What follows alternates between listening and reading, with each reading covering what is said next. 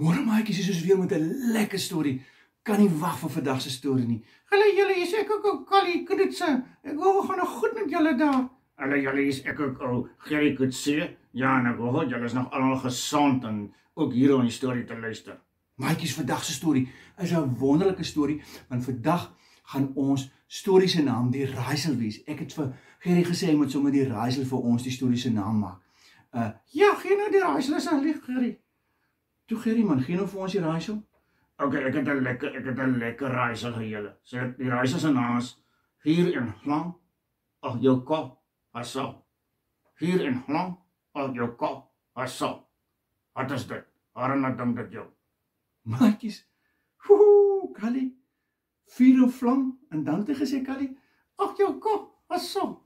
Nee jong, dis al moeilik. Vuur of vlam op jou kop op. Is dit 'n storie se naam en is raaisel? Ja, dis nou die stories en in die reise. Wat is dit? Waarom laat dink dit jou? Maatjies, ons gaan maar weer eens die storie vertel. Nou so was daar mos nadat Jesus vir ons sondes gekruisig is, het hy mos toe opgestaan uit die dood. Ons ken mos die verhaal. Uh, ken jy dit ook al? Ja, ek ken nie, ek ken ek ken die verhaal van Jesus wat opgestaan uit die dood nadat hy ons sondes gesterf het. Ek ken dit. Maatjies, Nou ja, ons almal weet Jesus het vir ons gesterf en het opgestaan en toe hy opgestaan het, was hy nog, oh, nou kan ek nie lekker onthou nie. Hoeveel dae was hy was hy nog op aarde gewees? Kan, kan jy onthou, Gerry? Ja, dit was 40 dae. 40 dae was hy nog op aarde gewees. Ja, maatjies, 40 dae het hy nog hier op aarde geloop en dan al baie mense verskyn sodat hulle kan vertel van sy opstanding uit die dode. En toe op die 40ste dag toe gebeur daai ding. Ja, toe hy 40ste dag toe die Here hier afgegaan aan die wolke na sy Vader. Ja, dit het vreeslik mooi gewees het. Maatjies, die disippels het daar gaan staan en toe het die Here vir hulle totsiens gesê en hulle gestuur om sy opstanningsverhaal aan al die nasies van die aarde te vertel. En toe het hy met die wolke opgevaar na die hemel en terwyl hulle nog so staan kyk, ja, het gebeur toe. Ja, toe kom hy engele en, en sê hulle moet hulle teruggaan en en hulle gaan gehaag die Here sal hulle sy voorspraak stuur. Sy voorspraak. Maatjie sy voorspraak, maar maar eintlik is 'n ander naam die voorspraak of die Heilige Gees. Jesus het mos beloof hy sal die Heilige Gees of die voorspraak of die Gees van God sal in sy plek kom. En ons gaan vandag 'n bietjie daaroor die storie vertel. Ja, ek kan nie wag nie. Vertel nog verder toe, vertel nog. Nou, okay, toe toe gaan die disippels daar na 'n hoë kamertjie toe, 'n hoë kamer, en daar sluit hulle die deur en alles toe hang gevolging aan die Romeinse soldate.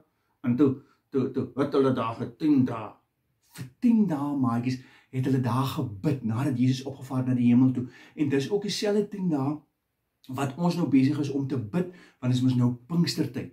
Pinkster beteken daardie tyd wat ons aan dink toe ons toe die disippels so saam gebid het dat Jesus sy voorspraak of die Heilige Gees moet stuur na hulle toe, na sy kerk toe om hulle te versterk. En toe hulle op die 10de dag bymekaar was. Ja, wat gebeur toe? Nou is ek anders skieurig. Ja, toe, toe, toe ook al die toe. Toe het toe, toe, toe het hulle 'n ge, ge, geweldige gedreun soos donder weer gehoor en en en en, en toe, toe daar soos lange groot lange hier lange al al al al die mense se kogge, al die siegels se kogge neergekom en, en dit dit het gelyk soos vlamme. En, en, en dit is eintlik die Heilige Gees gewees wat hulle toe gehul het en en, en toe het daar iets wonderliks gebeur. Maatjies toe gebeur daar iets wonderliks. Toe die Heilige Gees soos vlamme op hulle koppe kom, toe gebeur daar iets wonderliks. Ja, het gebeur toe. Nou se dan skieurig.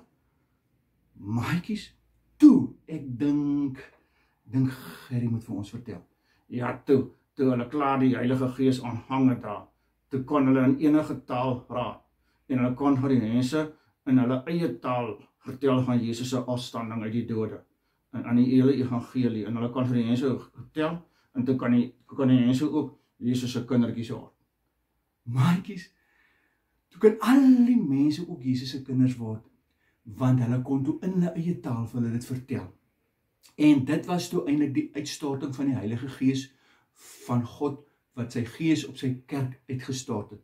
Daardie Pinkster dag en ons vier dit nog elke elke jaar vier ons dit in die kerk met Pinkstersondag. Ja, dis 'n wonderlike lekker gees om te vier. Nou nou is Jesus nou eh, sy gees nou in ons harte ook. Ja, ja Okali, die Heilige Gees is nou in ons harte ook want ons is mos God se kerk. So ons het nou die Gees van Christus in ons en ons kan nou vir ander mense vertel die hele verhaal van Jesus wat vir ons gesterf het, wat die dood oorwin het in ons plek en dat ons as ons in hom glo, hemel toe kan gaan. Dis nou wat ons vir almal kan vertel. Is dit nie wonderlik die maatjies? Ja, dis lekker om dit te weet. Dat ons nou ook dat ons ook nou die Heilige Gees in ons het en dat ons ook nou die storie kan vertel van Jesus wat afgestaan het en en dat hy dood oorwin het en dat die Heilige Gees nou in ons gedagtes en in ons harte is. Maatjies, is dit nie wonderlik nie? Nou, wat is ons raaisel? Ek wonder. Ja, ek dink ek dink dat dit is te doen met die vuur, met die vuur wat wat al in Jesus se koggel gekom het. Ek dink jy's reg, ou Kali. Dit is die vuur wat al in Jesus se koggel gekom het. En uh ja, nou nou is ons vuur en vlam ge Jesus. Omdat die Heilige Gees in ons harte is, nou is ons vuur en vlam ge Jesus en nou wil ons graag aan mense gaan vertel van Jesus. Maatjies, dit is wat Pinkster beteken. Ons het die Gees van Jesus ontvang en nou is ons vuur en vlam van opgewondenheid oor die Here. Ons is so opgewonde oor die Here dat ons dit vir mense van Jesus wil vertel elke dag.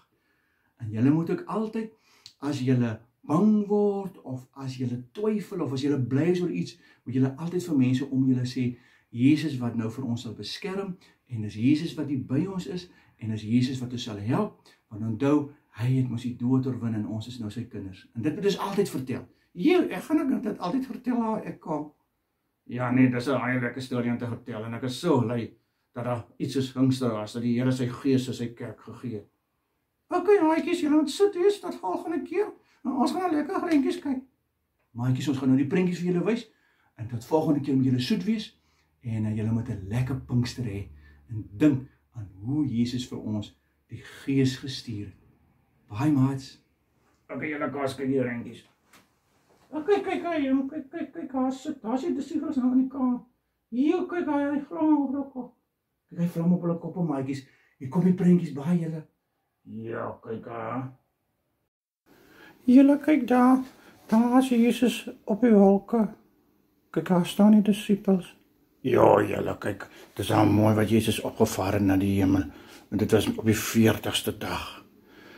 Ja, maatjies. En uh toe het hy sy Heilige Gees vir ons gestuur en toe sê hy vir disippels hulle moet teruggaan. Hulle moet daar in die bofortrek Daar is die bofortrek nou en daar het hulle saam gaan bid vir 10 dae. Het hulle gewag dat die Here sy gees moet stuur en toe op die 10de dag het die Here sy gees gestuur en dit het gelyk soos vlamme wat op hulle koppe gekom het en toe kon hulle in enige taal vir alle mense vertel van Jesus se wonderlike liefde. Julle moet soet wees maatjies, lekker Pinkstervier.